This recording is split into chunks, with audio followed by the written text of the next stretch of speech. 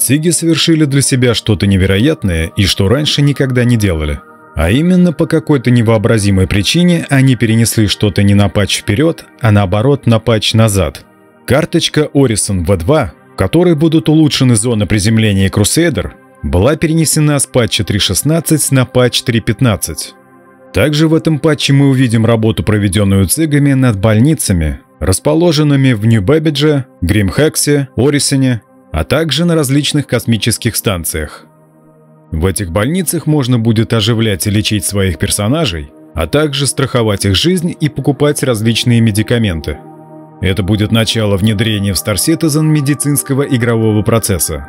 Всем привет, с вами Полиморфик. Усаживайтесь поудобнее и приятного просмотра.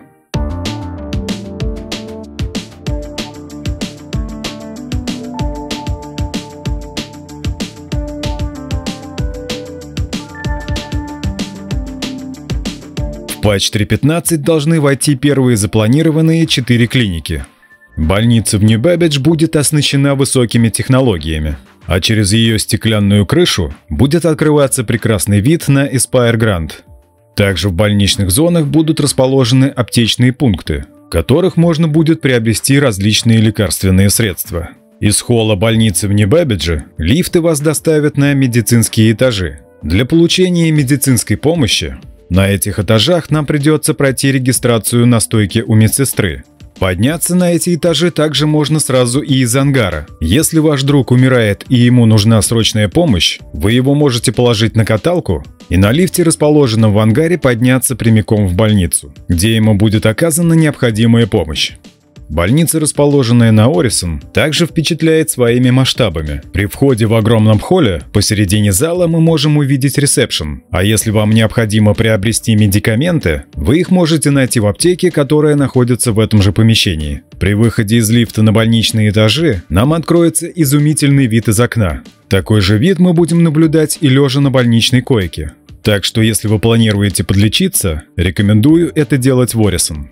Медицинские клиники также можно будет встретить и на различных космических станциях. Они будут оказывать те же самые услуги, что и крупные больницы. Отличие от крупных больниц будет просто в большей компактности. На всех станциях клиники будут похожи между собой. Однако же они все-таки будут отличаться различными модулями. На станциях на больничные этажи также можно будет попасть через лифты ангара, для того, чтобы вы не теряли время, а сразу отправились на лечение. Гримхакс – это пиратская станция, которая скрывает и защищает от сил правопорядка людей, которые совершили какое-либо правонарушение и другое космическое отребье.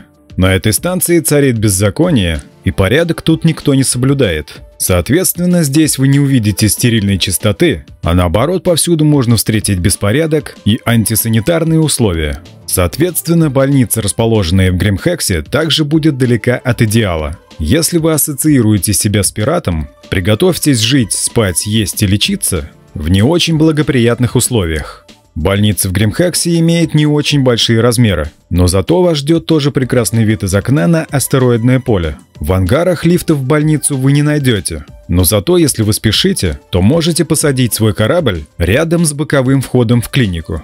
Но стоит учитывать, что пролетающий мимо пьяный пират ради забавы сможет расстрелять ваш припаркованный на паде корабль, и ему за это ничего не будет. Больница в зоне 18 на планете Аркорп должна появиться в патче 3.16. Он выйдет в четвертом квартале этого года. Больницу в Лорвеле на планете Хёрстон, которая носит название «Чистое сердцем Мария», мы увидим только в патче 3.17, весной 2022 года.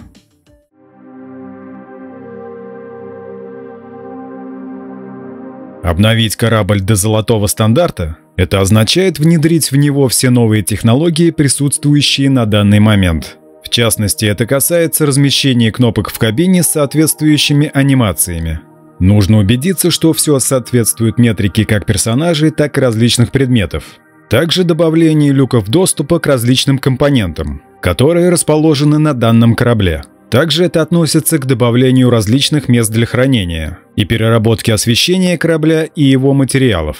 Корабль в золотом стандарте должен быть доведен до максимально возможного уровня. Первые корабли, затронутые этими улучшениями, стали Гладиус, Сейбр и Реталиатор.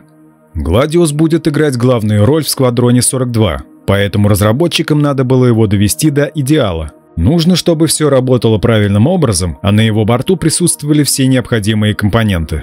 Вторым кораблем для золотого стандарта разработчики выбрали Сейбр. После опыта, приобретенного с Гладиусом, Сейбр было работать уже проще.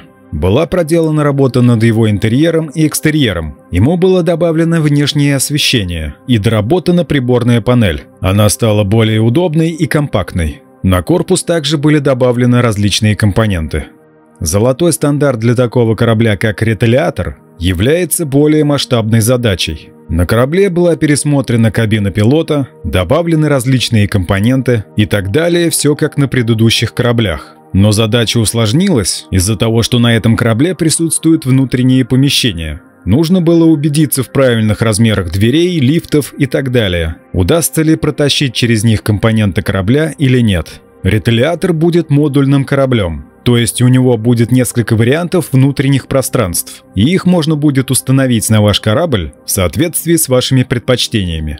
Спереди и сзади корабля будут расположены грузовые модули. Также спереди можно будет установить дропшип модуль для перевозки людей. Эти модули были доведены до современных стандартов, и когда модульная система заработает в игре, они будут готовы к работе.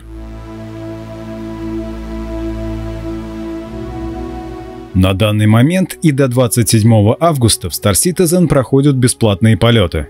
У вас есть еще целая неделя для того, чтобы попробовать игру и проверить, пойдет ли она на вашем железе. Для того, чтобы попасть на FreeFly и получить 6 кораблей, нужно скопировать код Get into the Verse и вставить его в это поле, а затем нажать Continue to Download.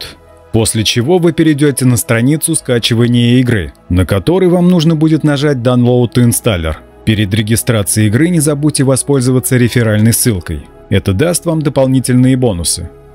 Ваши мысли по темам этого ролика, как всегда, оставляйте в комментариях под видео.